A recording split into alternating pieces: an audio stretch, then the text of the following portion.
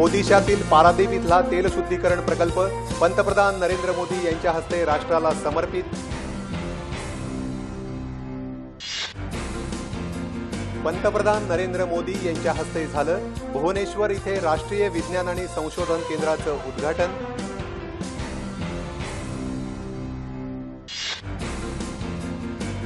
जम्मू काश्मीरमधल्या पुलवामा जिल्ह्यात सुरक्षा दलांशी झालेल्या चकमकीत एका दहशतवाद्याला कंठस्नान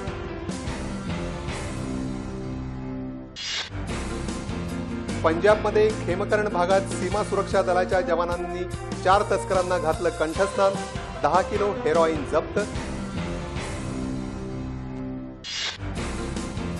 सातवा वेतन आयोग आणि समान पद समान निवृत्ती वेतनसाठी एक लाख अकरा हजार कोटींची तरतूद करावी लागेल वित्तमंत्री अरुण जेटली.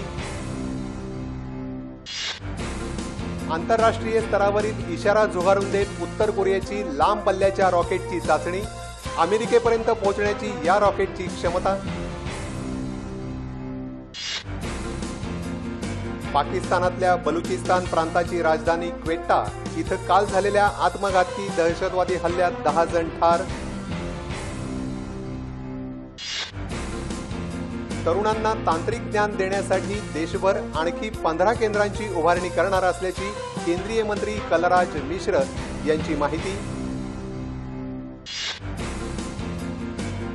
संविधानाने दिलेल्या अधिकार आणि कर्तव्यांचं पालन केल्यास शेवटच्या व्यक्तीपर्यंत विकासाचा लाभ पोहोचवता येईल मुख्यमंत्र्यांचा विश्वास.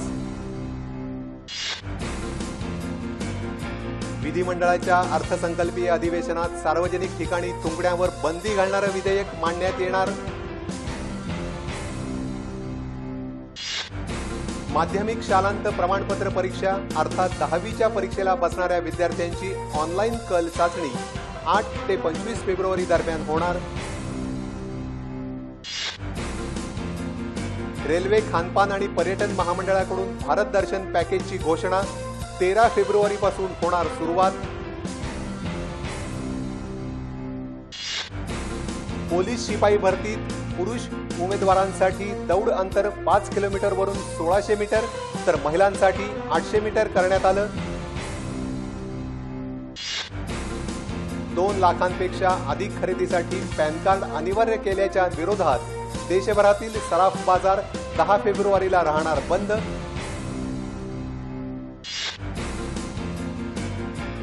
कला आणि संस्कृतीला चालना देणाऱ्या काळा घोडा महोत्सवाचा कालपासून झाला प्रारंभ.